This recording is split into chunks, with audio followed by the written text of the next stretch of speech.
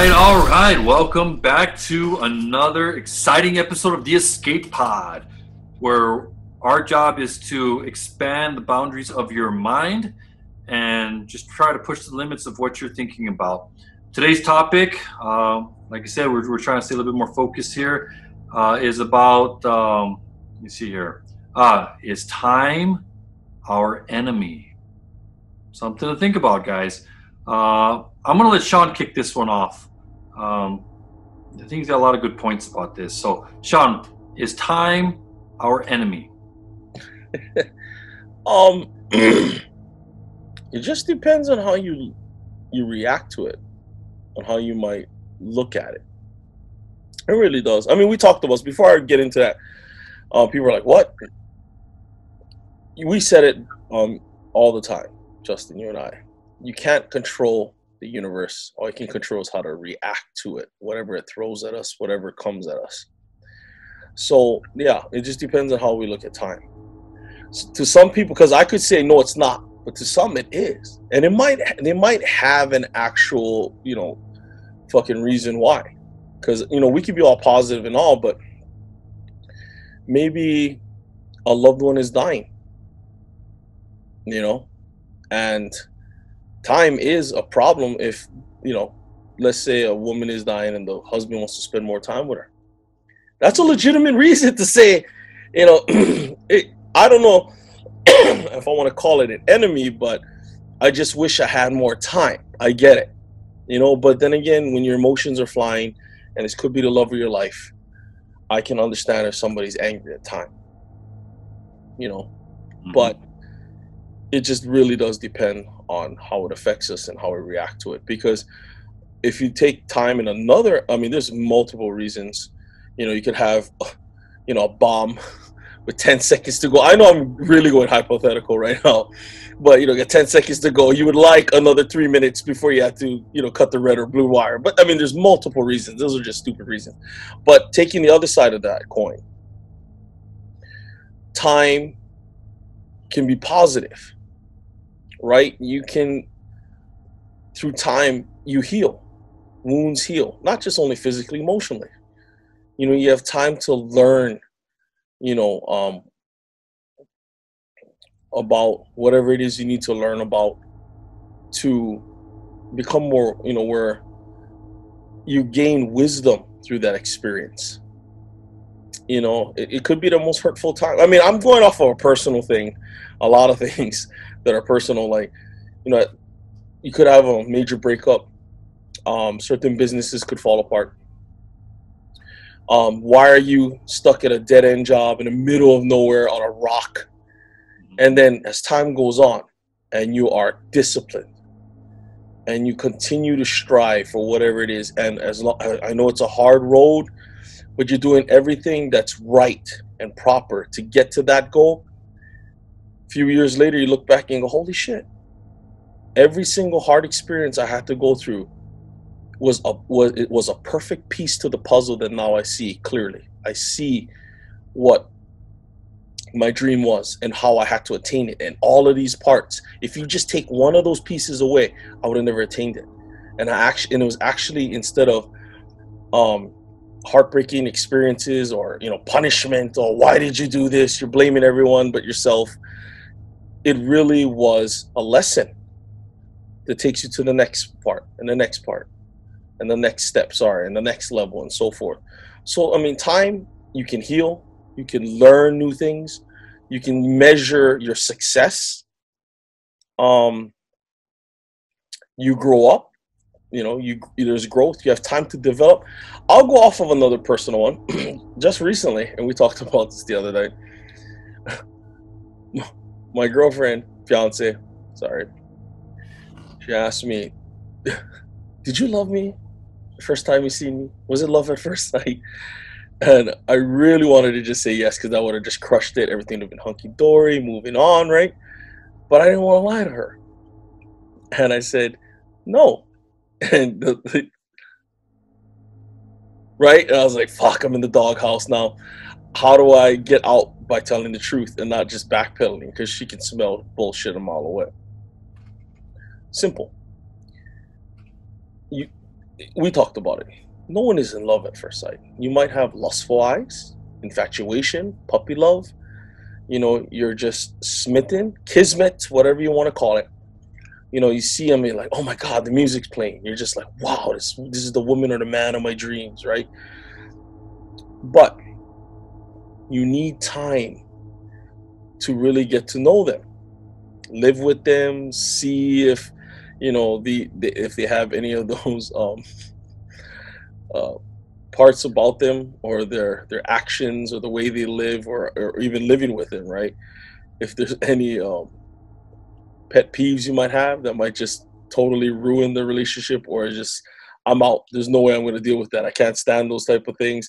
Yeah you need that time so you need time to develop love and i think that's all things to do with time so yeah I, I explained that to her and she's like well i fell in love with your first time i said no you didn't because she was stating from that moment that we were together at um with our friends Keith and and Kitashima at um uh the oh, what is it the Shirokiya Japanese walk.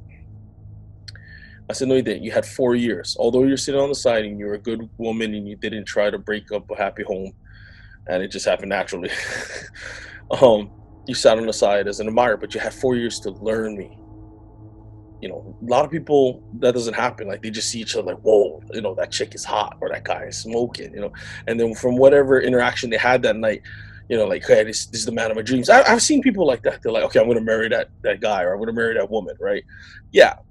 But as time goes on, like, fuck, bro, I didn't know she does this or I didn't know he does that, and you know, that guy's he's gross, he's dirty, he's disgusting, doesn't wash his shit, he just leaves his crap all around the house. He don't care about me, or she don't care. I get it.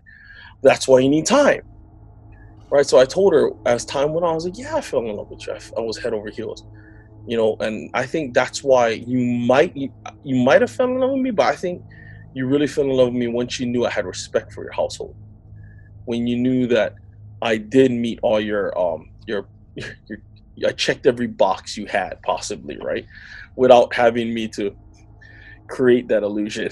it was all real natural and organic.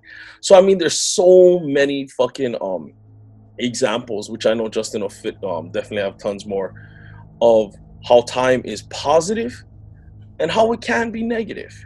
And I feel bad for the ones, you know, that go through negative. Something simple as you got to finish your fucking homework and you've been working diligently, or you're at a job or a career and you got to meet a deadline and you haven't been fucking around and procrastinating. And if you just had another hour, I get it. You're like, fuck, time is my worst enemy. It just ran out. But yeah, I can see it both ways. What about you, man? That was that was a great explanation of it. I mean, I'm not gonna touch. Well, I'll speak on the relationship part of it. Um, you know, lo- love and you know, good relationships take time. Um, you know, unlike the movies you see where people fucking one look at each other and they fall in love, that's more of an attraction. Uh, that's more of an infatuation. Um, from there, the process of getting to know each other is what develops that. I mean, really getting to know each other. If you're sitting there for three months or a year of your relationship and you guys are holding back uh, of who you really are, uh, you guys are setting yourself up for massive failure massive failure uh, because at some point you're going to have to be exposed. You're going to have to let them into your world and whatnot. But uh, I won't go too much like a Sean, you know, said that said actually pretty well and everything. What I'm going to focus on is what you attach time to. And if I just stick to the psychology stuff of it, the social sciences, time, I think for most people uh, in their life is getting to a point where they can be happy, abundantly happy whether that's abundantly rich and that brings you happiness or uh, success in life, whatever the case may be, we need uh, ample time to bring about that abundance of happiness. But you have to clarify to yourself what is it that's really going to make you happy and are you working your way towards that? Are you using your time efficiently? And you have to understand that nothing ever goes as planned and if you do not allot time for uh, contingencies and for things to go wrong, then you're going to be surprised. You're going to get caught off guard. Uh, but looking more on um, if I if I, if I focused on another route here, time with people. You just never know. We we got this stuck in our head that we only worry about time when it comes to people who are deathly ill or older, a senior citizen level. Um, that's how society has thought. Whenever somebody's a senior citizen, we're automatically thinking that they have a short time on this earth. But what we're not taking into account is that your friends could die tomorrow. And just random shit. I'm talking like aneurysms, accidents. They could be driving down, they could be running up the Pali and get hit by a fucking tour bus. You just don't know when things happen. Uh, get into a perfectly good airplane, airplane crashes. You just don't know. And some people have died in their 20s of a heart attack. You just don't know. So, what the best advice I can give people who I've actually uh, helped with these kind of situations is that even if you're having an argument, number one, learn to forgive if you love. If you love them that much and they are that important in your life, and you know you're going to argue with these people, or you're going to have something wrong with them, or you know they're being hard headed and they don't want to hear it from you, get your argument out, but forgive because you just don't know what's going to happen tomorrow. You don't want to live with that regret. Forgive, forget, move on. Time is valuable.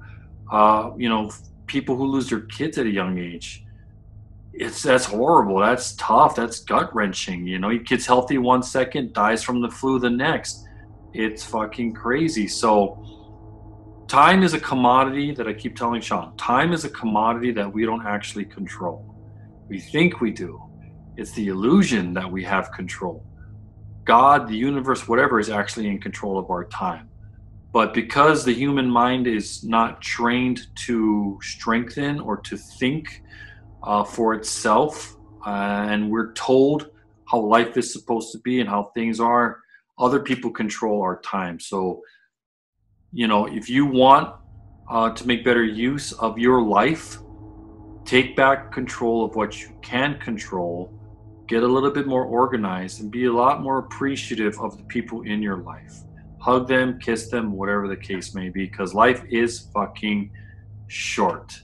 I have seen too many friends, too many family members pass away. Some in my arms, uh, some I get the phone call.